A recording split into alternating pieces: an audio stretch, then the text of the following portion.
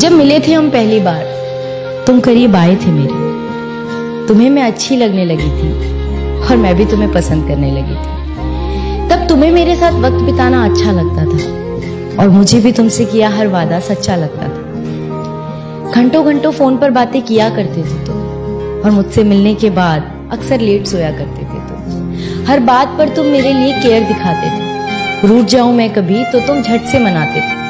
25 से 30 किलोमीटर तक रोज मुझसे मिलने आया करते थे और उसके बाद मुझे घुमाने भी ले जाया करते तो क्यों आज साथ होकर भी हम साथ नहीं और क्यों इस रिश्ते में अब पहले जैसी कोई बात नहीं? क्यों हमारे वो पहले जैसे हालात नहीं और क्यों आज मेरे हाथों में तेरा हाथ नहीं?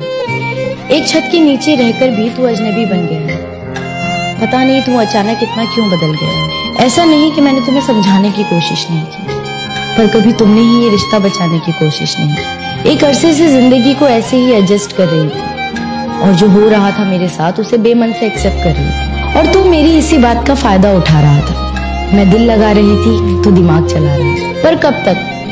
पर कब तक इन रिश्तों को घसीटा जाए? जहाँ चलना भी हो मुश्किल, वहाँ भला कैसे दौड़ा जाए? पर अब सच बताऊँ तो बहुत थक चुकी हूँ मैं। और इस घिसी पिटी ज़िंदगी से पक चुकी हूँ। मैं जानती हूँ कि मुझे कोई समझ नहीं पाएगा।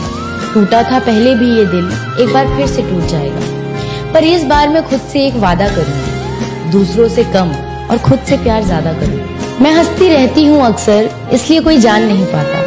और इस हँसी के पीछे का दर्द कोई पहचान नहीं पाता। अब किसी को इतना पास नहीं लाऊँगी, अब किसी को इतना पास नहीं लाऊँगी मैं, और किसी को इतना खास नहीं बनाऊँगी।